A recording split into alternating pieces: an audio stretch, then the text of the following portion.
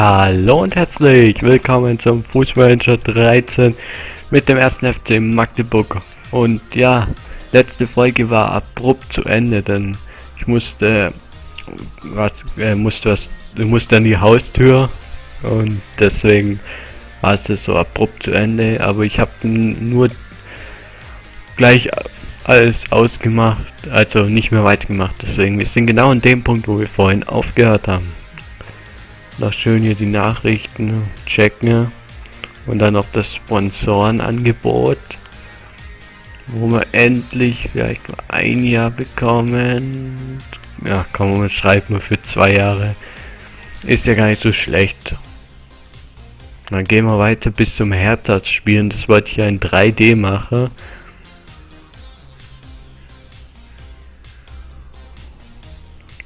Und das werden wir dann wahrscheinlich auch machen. Und dann sehen wir mal. Michael Mahn. Na, der ist nix. 2000 Euro vom Hauptsponsor.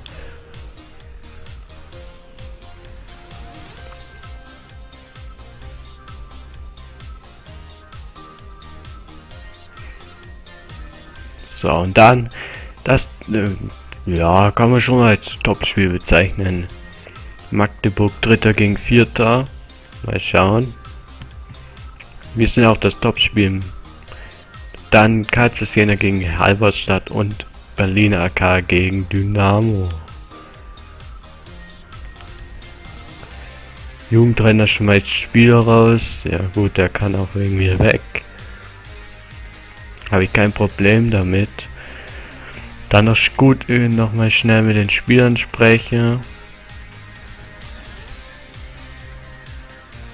Und dann können wir in das Spiel reingehen.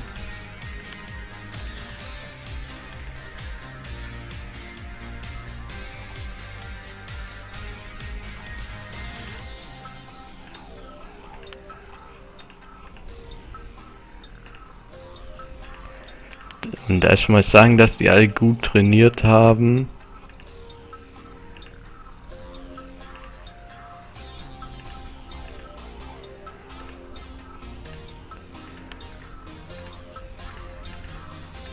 Dann sind wir auch schon bei einer Teamdynamik. Ist echt schwer mal so auszusprechen. Von 120 wahrscheinlich. Genau, und das ist richtig gut. Ich guck mal in die erste Mannschaft. Die haben wir glaube ich schon eingestellt. Ähm, zumindest die Ausstellung. Lass ich gleich mal so. Und heute gibt's mal 300 Euro, weil es ein Topspiel ist. Und dann müssen wir auf jeden Fall die hier mal decken. Ne? Da kennt man ein paar Stück. Sirre zum Beispiel kennt man alle. Und dann gehen wir rein und schauen mal an, wie das so läuft. Nämlich 3D-Spiel so gegen so und dann heute wird kein Zweikampf aus dem Weg gegangen.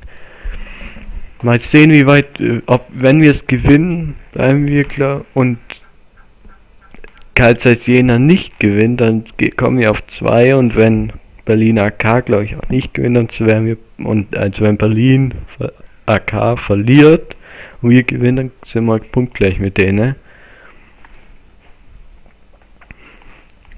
Schauen wir einfach mal. Ich habe ein gutes Gefühl, weil im 3D-Spiel waren wir ja bisher immer recht gut. Und ich habe wieder vergessen, die Einlaufhymne zu ändern, deswegen nicht überraschen.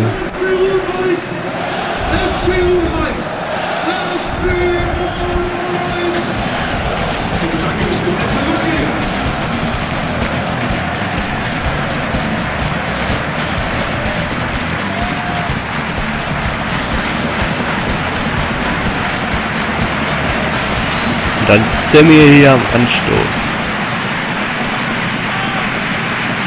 Leckt ein bisschen das Spiel. Schröter zu Beil. Ich weiß nicht, warum es gerade leckt. Es geht gerade gar nicht. Ich weiß aber echt nicht warum. Beck mit dem Schuss knapp vorbei.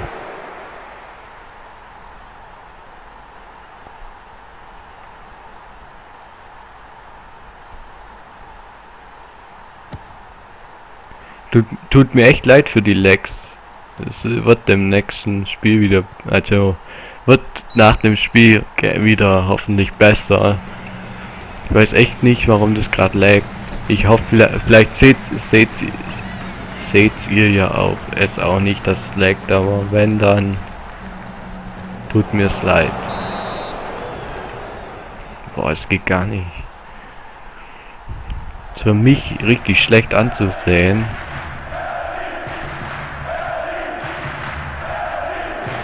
Weil verliert den Ball. Ich bin schon am überlegen, ob ich es nicht auf zweifache Geschwindigkeit mache. Weil ich finde, so geht's gar nicht, wenn so leckt.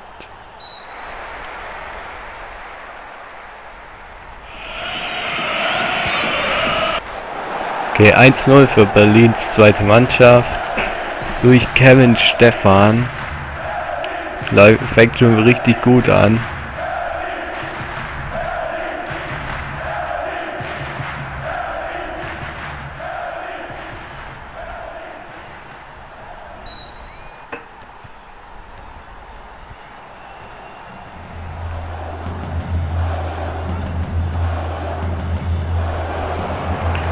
Glaube, das wird ein schweres Spiel zu gewinnen noch.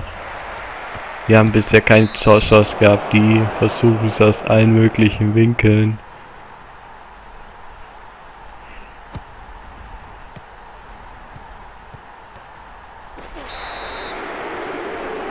Gelbe Karte für Tobias Hasse.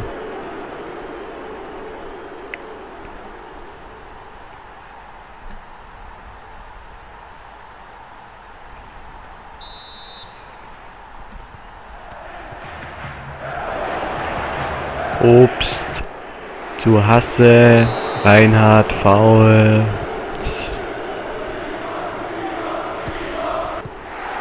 Es läuft alles gegen uns gerade.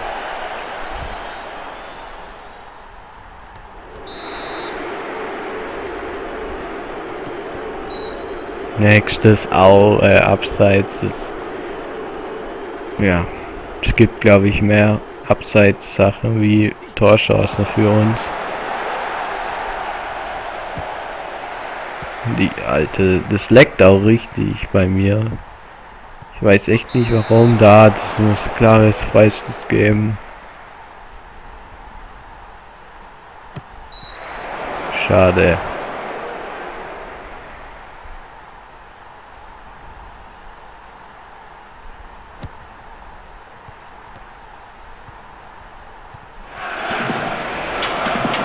Weil. Aber Beck scheitert an Sprint. Was? Das, was ist daran rote Karte?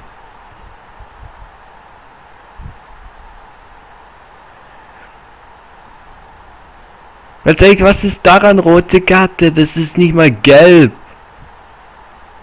Das ist nicht mal gelb. Ja, können wir den hier nach hinten ziehen. So. Jetzt ist das Spiel eigentlich schon verloren. Ich denke nicht, dass wir hier nochmal zurückkommen. Gerade weil es so eine rote Karte ist, was eigentlich in echt nie eine rote Karte und dann kann der auch nicht schießen, der Back mal 50 Meter am Tor vorbei.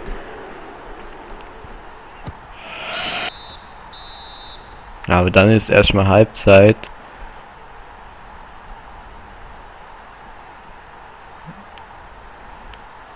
Ich versuche alles, ist ganz klar. Alle motivieren hier hinten. Wird massiert, so. Und dann kommt Siefkes für Beck gleich mal rein.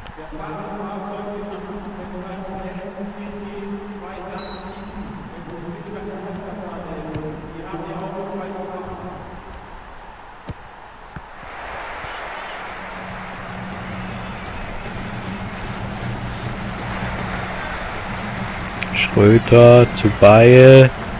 Wieder schlechter Pass. Hanke. Wieder schlechter Pass. Fuchs. Nächster pa Fehlpass.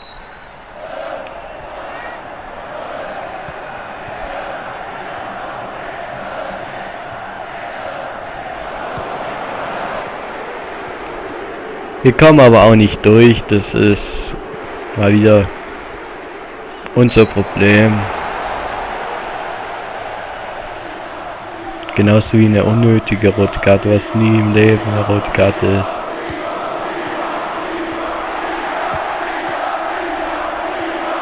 Jetzt! Und dann, der steht frei vom Tor und kriegt den Ball nicht rein. Das ist...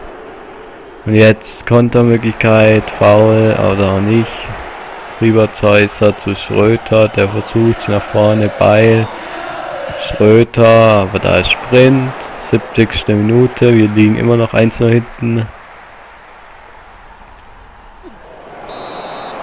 Theoretisch gesehen müsste sowas rote Karte jetzt geben.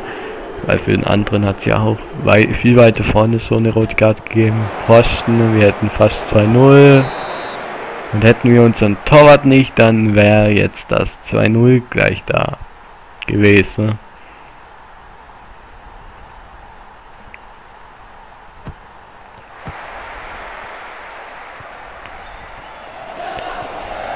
Wir, wir,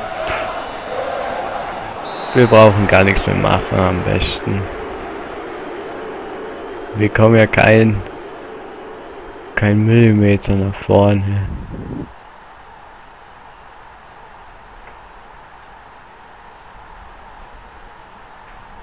Was weiß ich, einfach so irgendwie halt.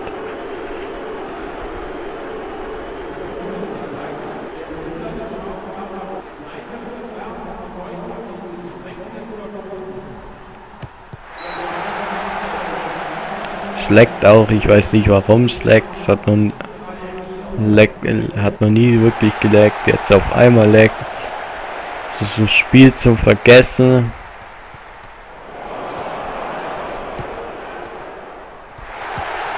Da, Ball muss nur an dem Spieler vorbei. Kann, ist dann frei vom Tor und was macht der? Schießt den Spieler an. Das ist mal wieder so klar. Und jetzt nächstes aus. Lass mich raten. Fast aus. Jetzt ist das Spiel zu Ende. Wir verlieren mit 1 zu 0 gegen Hertha BSC, die zweite Mannschaft. War mir rechtlich gesehen klar. Nach dieser roten Karte, was nie im Leben eine rote Karte war. Man sieht Jena nur unentschieden, das hilft uns natürlich weiter, dass sie jetzt nicht so weiter weggegangen sind, aber Berliner K gewinnt, deswegen sind die weit weg. Lasst ein Like da, wenn euch die rucklige Folge gefallen hat. Schaut auch in den anderen Projekten vorbei. Bis bald und tschüss.